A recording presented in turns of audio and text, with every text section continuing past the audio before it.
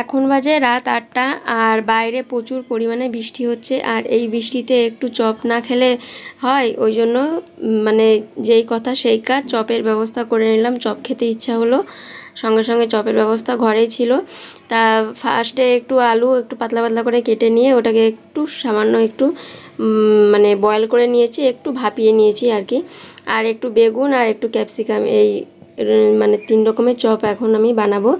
আর বেসনের এদিকে একটা বেসনের একটা সুন্দর করে ঠিক একটা ঘোল বানিয়ে নিয়েছি। ওটার মধ্যে একটু কালো জিরে, নুন, হলুদ, লঙ্কা গুঁড়ো, জিরে গুঁড়ো দিয়ে বেসনটাকে বানিয়ে নিয়েছি। আর এই কড়াইটার মধ্যে তেল কিছুটা ছিল, কারণ আগে পাঁপড় ভাজা হয়েছিল, যার কারণে তেলটা একটু ছিল। ওই তেলের মধ্যেই চপগুলো ভেজে নেব। আর দেখো ফার্স্টে আলুগুলো বেসনে ডুবিয়ে আর ছেড়ে দিলাম তেলের মধ্যে। কি সুন্দর ফুলে একদম টোপা টোপা হয়েছে। খুব সুন্দর মানে আর মুচমুচো হয়েছিল, চপগুলো খেতে অসাধারণ ছিল।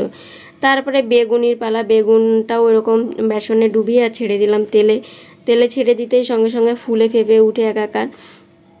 তা যাই হোক, তারপরে বেগুন চপ, আর বেগুনি আলু চপ, আর ক্যাপসিকামের চপ, এই ছিল আমার আজকে রাত্রের সুন্দর মানে স্ন্যাক্স তা কেমন লাগল আমার চপটা তোমরা অবশ্যই বলো। আর ভালো লাগলে একটা লাইক কমেন্ট শেয়ার করে দিও। আর বৃষ্টি দিয়ে তোমরাও নিজের ঘরে বানিয়ে খেয়ে নিও।